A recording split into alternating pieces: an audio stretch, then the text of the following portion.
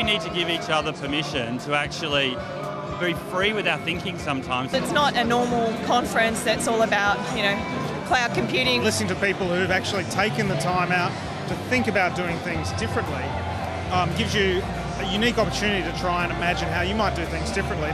Vulnerability is not about winning, it's not about losing, it's about showing up and letting ourselves be seen.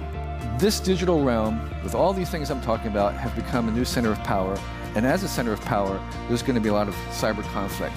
By monetizing information, we have a potential to create a stable economy. The world, unlike you may have read, is not approaching the future. The future is in about 30 seconds' time.